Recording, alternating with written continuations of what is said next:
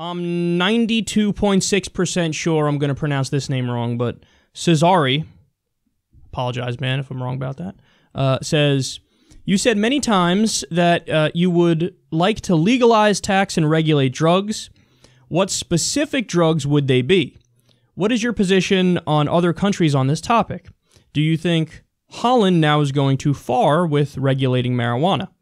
Um, okay, so I don't know the exact uh, situation in Holland. Or they they legalized it and regulated it? Because if that's the case, I totally agree with them. That's exactly what they should do. Um, in terms of uh, what does it like really mean when I say legalize, tax, and regulate? Uh, it means it doesn't mean that any kind of substance you can come up with is is legal. It means you legalize drugs and you tax them, but you also regulate out of existence the worst varieties of them. So, to give specifics, would this mean that, you know, crocodile is legal? Well, no, crocodile is, uh, you know, the poor man's heroin, it's called. But it's cut with so many uh, disastrous chemicals that the average lifespan after somebody starts taking it is like a year or two years max. It basically kills you and rots you from the inside where your skin falls off. It gives you uh, that heroin like high, but it's it's even worse for you than heroin. So would that be legal in this system where I legalize, tax, and regulate drugs? No. Um, Instead, uh, we would have a more benign version of that kind of substance legal. So we're talking about opiates or opioids. Lower level opiates or opioids would be legal. Um, when it comes to uppers, so like crystal meth. Well, crystal meth, same issue as crocodile in that it's cut with really, really uh, disastrous chemicals. So, how do you uh, fix that situation? Well, you regulate out of existence crystal meth and you allow in a lower form, a more benign form of the same kind of an upper or amphetamine.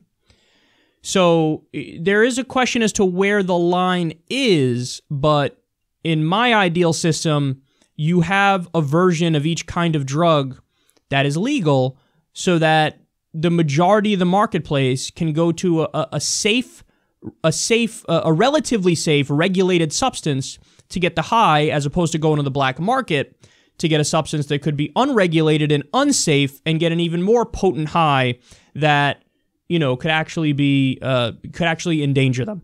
So it doesn't mean that you have like crystal meth and crocodile legal. It means you have, you know, for example, uh, the opiate pain pills would be legal.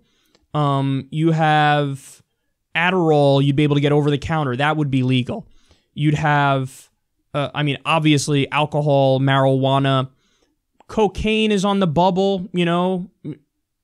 Maybe you have some sort of regulations as to how pure it is. And uh, with the regulation, you also keep the black market open, but I think the black market would be smaller than, uh, it obviously would be smaller than what it is right now.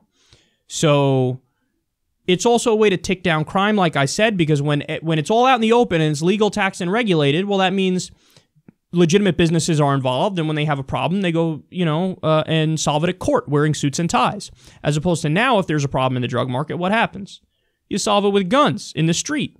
That's why there's an, a literal hot war going on, and it's called the drug war. The cartels are massacring people, and there's firefights, and there's mega cartels now that fucking behead people and act like ISIS.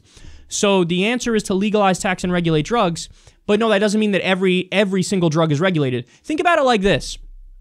If I say cigarettes should be legal, does that mean that cigarettes should be legal and they should be allowed to put cyanide as one of the ingredients? No, you'd say that's crazy. Just because Kyle says cigarettes should be legal doesn't mean he's saying cyanide laced cigarettes should be legal. That's not true at all. Well, it's the same thing. So we allow cigarettes, but we don't allow that ingredient in cigarettes. We don't. We shouldn't allow many of the carcinogens in cigarettes to be in cigarettes. You should regulate it to make it more safe, but you allow it. Same thing with drugs. Okay, so you should have various drugs legal, but you don't allow the worst substances, the worst chemicals that they're cut with as to be part of it. That is illegal. Illegal. So it's a complex uh, conversation to have, but just know that a lot hinges on that last word, which is regulation. So when I say legalize, tax, and regulate, everybody gets the first two parts legalize and tax it.